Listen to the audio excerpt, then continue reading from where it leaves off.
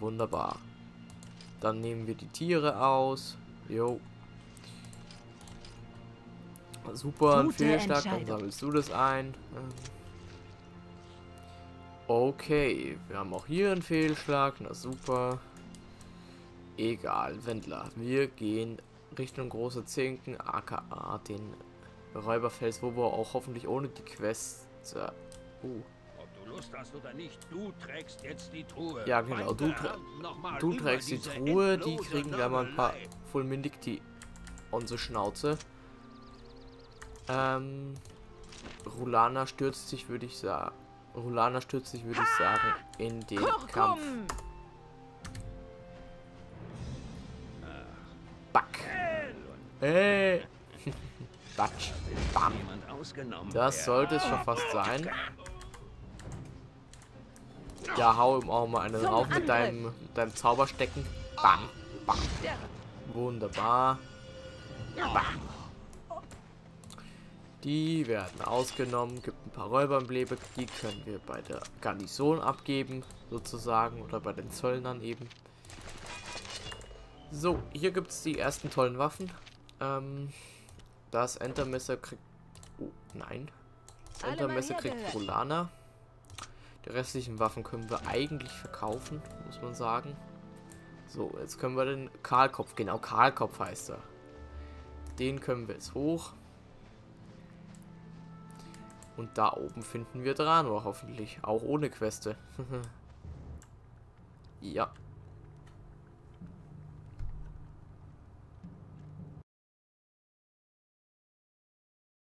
Ich habe euch das Diadem beschafft. Nun gebt mir euer Ehrenwort, dass ihr Salina nichts antun werdet. Das Diadem. Gut, sehr gut. Deine Geliebte muss in Fexens Gunst stehen, denn mit dem Diadem erlischt auch mein Interesse an ihr. Zu schade, dass die Gunst deines Gottes für heute erschöpft scheint. Tötet ihn!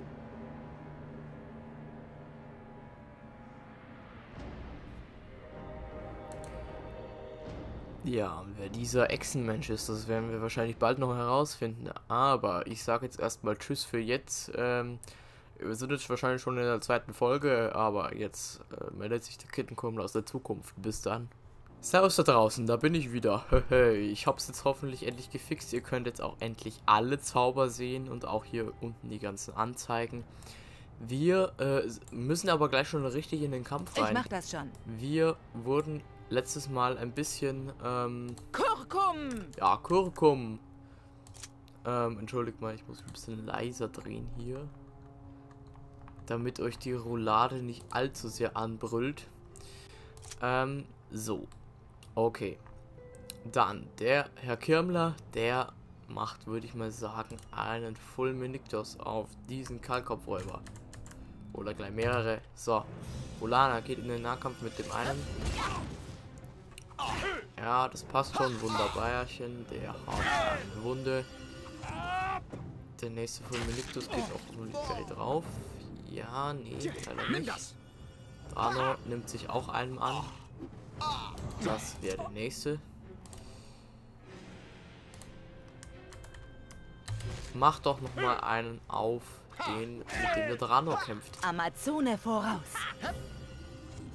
Rolana gibt hoffentlich gut drauf. Sehr gut. Und jetzt auch noch der letzte. Wunderbar. Das war knapp.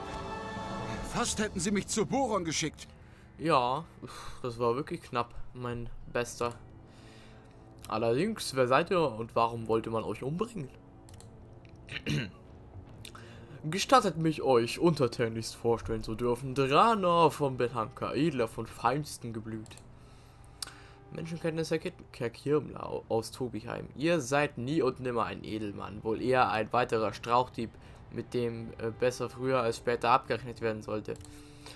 Also, gut, ihr habt mich durchschaut. Allerdings bin ich äh, gleich ein Schurke, kein Mörder wie die anderen.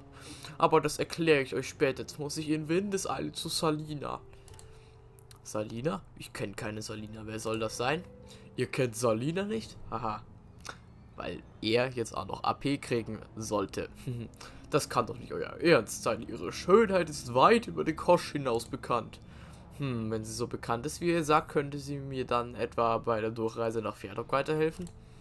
Salina sind keine Wege versperrt. Wenn ich mich nicht irre, so kennt sie den hiesigen Zöllner sogar persönlich. Und es dürfte ihr ein leichtes sein, bei ihm ein gutes Wort für euch einzulegen. Schön und gut, doch weshalb müsst ihr so eilig zu Salina zurück? Ach, das ist eine längere Geschichte. Nur so viel. Ich habe ihr liebstes Diadem gestohlen. Ich muss dringend zu ihr und mich erklären. Auf bald. So wartet doch. Wir können doch zusammen dorthin. Ich hätte euch ein Angebot zu machen.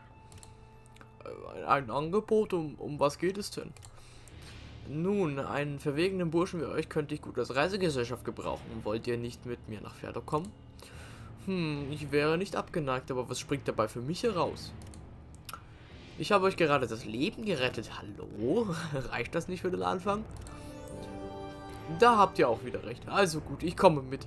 Hört sich auf jeden Fall lukrativ an, es mit diesem einfältigen Runkel umherzuziehen. Äh, Runkel? Von wem redet ihr? Auch niemand weiß, ein Gefährte. Wir wollten gemeinsam hier in Avestro die Prüfungen zur Aufnahme in die Verdocker Diebesgilder meistern, als plötzlich alles dunkler und drüber ging. Er wartet bestimmt immer noch auf ein Zeichen von mir. Sollten wir dann nicht so suchen und ihm erzählen, was passiert ist?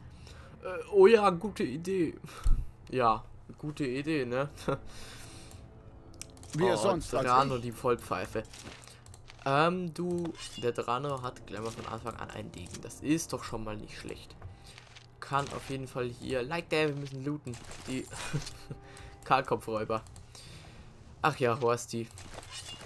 Es ist ja alles wieder gut mit Horsti zum Glück. Das ist ja das Tolle aktuell. Haben wir denn schon Haarnadeln? Nein. Okay, dann müssen wir jetzt aber mal auch dringend zum Händler. Du hast leider noch keine Steigerungspunkte, aber du kannst ja trotzdem vielleicht schon mal eine Truhe knacken. Gut. Stäbe sind irgendwie gemaxt, aber bei Rolana können wir bei Säbel hochgehen. Das ist doch mal gut. Ähm, Rolana brauchen wir nicht in den Gesellschaftstalenten, sag ich mal. Äh, Rolana ist aktuell eher mehr so der volle, volle Kämpfer, würde ich mal sagen. Sie hat ja auch keinen Zauber. Heißt, wir werden auch ihre Punkte sparen für weitere Fähigkeiten, falls wir sie noch nach, äh, ich hoffe, ich spoilere nicht, nach einem sumpfigen Dorf weiterhin mitnehmen werden. Ähm, unser Herr Kirmler, der äh, wird unser Mann für alles hier, würde ich sagen, bei den Talenten. Vor allem bei Pflanzenkunde, aber auch bei Tierkunde heißt, wir lassen das aber jetzt auch mal so. Wer sonst als Hier ich? oben gibt es eine Truhe, die der tolle Dranor gleich mal knacken kann. Gut, dann knacken Sie mal bitte die Truhe. Wunderbar. Schon erledigt. Lederstiefel, Halbschuhe. Ähm, was gibt das gibt keine Behinderung, das gibt auch keine. Die Lederstiefel auch keine. Dann zieh mal den Waffenrock an. Der gibt Folgt genauso mir. viel. Ne, der gibt sogar. Ja, genau. Der wattierende Waffenrock, der ist eine super Rüstung für den Anfang. Auch äh, eben halt für die ähm, Magier in der Gruppe. Der Herr Kirmler haut mal ein paar Fässer kaputt. Wunderbärchen. Hinten, hinter diesem Hügel da, hinter, hinter dieser Steinbrücke hier, gibt es tatsächlich auch noch Fässer hinten. Gut, da schauen wir mal hin. Wir wollen ja hundertprozentig durchspielen und hier auch nichts auslassen. Aber da hinten gibt es meines Wissens nichts mehr. Ähm, gut, ich glaube, wir können zurück. Hier oben, ah nee, da hinten gibt es noch zwei Fässer. Aber dann können wir wieder runter in den Wald, Richtung, ähm, jetzt müssen wir Richtung Jäger und Richtung ähm, eines Tals, was es hinten gibt. Ähm, die Sache ist, ähm, ich glaube, wir müssen erstmal ein bisschen unser Zeus verscherbeln und uns vielleicht noch ein bisschen ausrüsten. beim, beim Zöllner, da sind nämlich einige Händler gestrandet. Und die warten da auf die Weiterfahrt und die verkaufen auch gerne ihr Zeus. Gut. Jetzt gehen wir zum Jäger. Der ist ja meines Wissens da hinten. In seiner Hütte. Okay, da ist noch Gulmund. Den nehmen wir gerne mit. Da sehen wir schon die Schadenspunkte vom vom äh, Kampf mit dem Wolf, der jetzt anscheinend schon sehr, sehr lange dauert. Hallo Jäger Kauzenstein. Der haut den, glaube ich, für uns allein kaputt. Ich mach das schon. Kurkum! Kurkum. Ja, der Drano ist ja mir so der elegante Findenkämpfer mit seinem Degen. Ähm, ich finde, in Drakensang werden Fechtwaffen allgemein ziemlich unterschätzt. Die sind gut. Die sind wirklich gut. Ich stehe in eurer Schuld. Was kann ich für euch tun? Äh, gibt es irgendwas, womit ich euch noch behilflich sein könnte? Ja, das könntet ihr. Ein Wolfsrudel, angeführt von einer schneeweißen Wölfin, wechselt Zeit viel zu stark. Die Schleue ihrer Anführerin lässt das Rudel all meine Fallen meiden. Und um direkt gegen sie zu kämpfen, sind es zu viele. Ihr könntet mir helfen, indem ihr die Alpha-Wölfin erlegt und mir ihr Fell bringt. Ihr habt also ein massives Wolfsproblem. Nicht nur, außerdem macht mir ein wild gewordener Bär zu schaffen, da er bereits erst der Reisende anfiel. Bislang konnte ich ihn nicht stellen, aber ich konnte seine Fährte bis zu einer Höhle am großen See zurückverfolgen. Wenn ihr ihn erlegt, wäre Aves treu um eine Gefahr ärmer. Bringt seinen Kopf als Zeichen des Erfolgs. Ich werde mich sowohl des Wolfs als auch des Bärenproblems annehmen. Genauso machen wir es nämlich. Das gibt die meisten Abenteuerpunkte und auch am meisten Blut. Ey, und es klappt mittlerweile auch mit Tierkunde. Super. Die Hütte finde ich echt schön. Weil da haben sie sich echt mal die Mühe gemacht und dann so auch so ein äh, Hirschgeweih da oben dran gemacht. Das ist leider nicht überall so. Weil am Ende die offensichtlich die Kohle ausging für dieses Spiel. Äh, ja, Rad und Labs was du machen. Ganz nach dem Motto. So. Mein allerbester Dranor. Am Anfang müssen wir eigentlich alles in Schlösserknacken investieren. Ähm. Hallo, kann ich mit dir sprechen?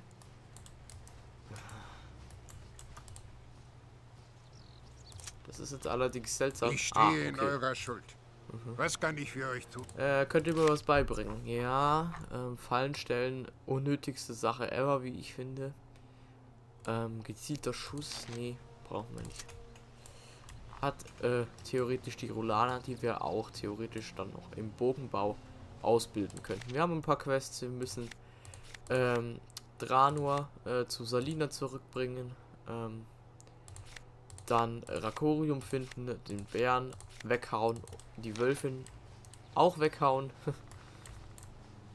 Und hier, äh, genau, aber wir müssen jetzt erstmal zurück. Ähm, und, und erstens unter Zeus verscherbeln und zweitens, ich würde sagen, äh, hier mal zum Zöllner Nandor, weil da waren wir noch gar nicht. Halli, hallo, Gatistilung. Du wirst uns jetzt auch ansprechen, oder? Nein, du warst der andere. Ja, wir hätten auch da hinten rüber gehen können, glaube ich. Aber so kommen wir noch an einer Person vorbei, die ich auch gerne sprechen möchte. Nämlich einerseits ähm, hier, da läuft so eine Tante rum. Das ist, ich glaube, die Tochter von äh, von äh, einem Typen am Apfelbaum da hinten.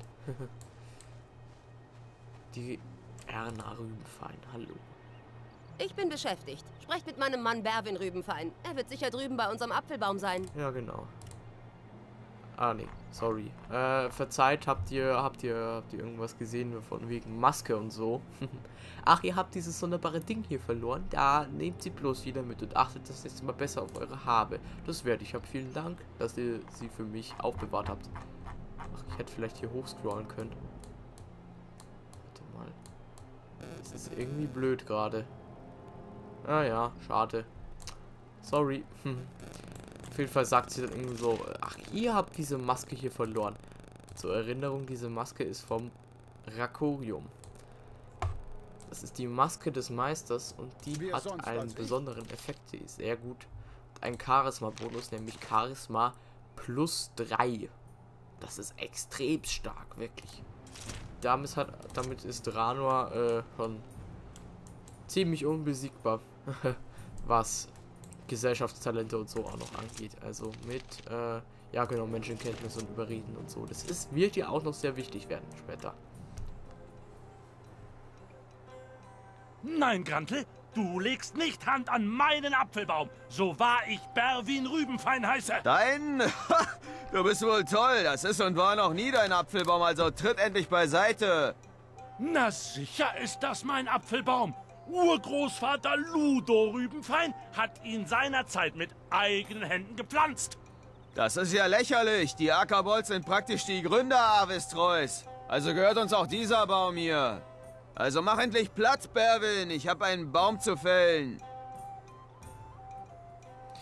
Ach ja, die Bär, der, der Bärwin und der Ackerbold. Ich finde auch lustig, wie sich das Gras so schön synchron bewegt. Na gut, da ist die Grafik natürlich heute schöner. Man darf nicht vergessen, das Spiel ist 13 Jahre alt und äh, ist auch nicht mehr auf der Höhe der Zeit. Ihr da, Aber es ist ihr immer noch schön. aus, als hättet ihr einen klaren Verstand und könntet Grafik. uns bei dem Streit um meinen Apfelbaum helfen. Jo, wir sind bei klarem Verstand. Ähm, ich werde versuchen zu helfen. Jo. Zunächst aber müsst ihr mir erst einmal schildern, worum es überhaupt geht. Hörst du, Grantel? Jetzt entscheidet jemand für uns, wer im Recht ist. Also legt sofort die Axt aus der Hand. Ah, du willst mir vorschreiben, was ich auf meinem Grund und Boden zu tun habe? Mir reicht's, der Baum kommt jetzt weg. Ein Moment, weshalb seid ihr eigentlich so erpicht darauf, diesen Baum zu fällen? Er versperrt Breios Blick auf meinen Acker. So nimmt er meinen Pflanzen das Licht und raubt meinem Boden das Wasser. Bei Sturm knarrt er so entsetzlich, dass ich des Nachts nicht schlafen kann und... Sch schon gut, schon gut. Aber ist euch bewusst, dass euer Nachbar sehr an diesem Baum zu hängen scheint? Ah, ja, natürlich hängt er an ihm. Die gute Göttin Pereine hat diesen Baum mit den goldensten Äpfeln dagegen gesegnet. Er erntet immer fleißig alles ab und ich gehe leer aus. Aber dafür gibt es doch sicher eine Lösung. Und ob es die gibt, ich hau das Ding jetzt um. Es steht sowieso zur Hälfte auf meinem Land. Dann ist endlich Ruhe, geht zur Seite. Wollt ihr ernsthaft einen vom Pereine gesägten Baum fällen? Ihr Zorn könnte euch die Ernte kosten. Wäre es da nicht klüger, einen Handel mit eurem Nachbarn einzugehen und die Ernte zu teilen? Ach du je, daran habe ich noch gar nicht gedacht. Den Zorn der Göttin will ich wahrlich nicht wecken. Hm, also, äh, Ber Berwin, dann sei doch so gut und lass uns die Äpfel in Zukunft teilen, ja? Der Baum bleibt stehen und ihr teilt von nun an die Ernte. Bist du nun zufrieden, Berwin? Naja, schon. Aber dann bleiben mir ja nur halb so viele Äpfel übrig. Wer ersetzt mir das Geld, das mir dadurch entgeht? Ihr Jammerlappen. Man sagt wohl zu Recht, dass es nicht schlecht um das Reich bestellt ist, solange der Koscher noch ja, klagen kann. Ja, klagen. Hm. Und nicht der Koscher. Gell, Horsti? Koscher. Wie dem auch sei, dass ihr meinen Apfelbaum gerettet habt, würde ich euch nie vergessen. Gern geschehen, auf bald, ihr lieben Bauern. Hm. Okay. Der Streit um den Apfelbaum ist abgeschlossen und wir haben schön Abenteuerpunkte kassiert. Ich glaube, jetzt wird es mal ein bisschen Zeit, äh, Zauber zu hoch zu leveln. Auf jeden Fall den Fulminictus. Alle mal hergehört. Wer sonst als ich? Ähm, Dranor, du, wir können dich steigern im Schlösser knacken, das ist doch super. Und bei der Ruldana heben wir uns uns auf. Alles klar. Ähm, wir müssen ja, warte mal. Genau, jetzt müssen wir mal kurz zurück ins Dorf, beziehungsweise an das Wirtshaus, weil dort äh, gibt es ähm, einen lieben Händler, beziehungsweise einen äh, Kandidaten, der was verloren hat. der das auf, um jeden Preis wieder haben will.